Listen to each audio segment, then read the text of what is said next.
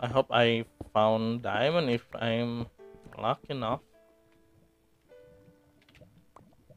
I don't know. I never lucky to find any diamond though. The one that found the, that diamond is Hiki, not me. Diamond in the chest.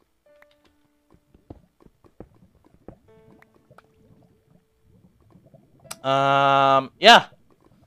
Yeah, I didn't luck it at all. Yeah. that um basically I just jinx myself. Hello there. Alright. Uh uh well uh the jinx work.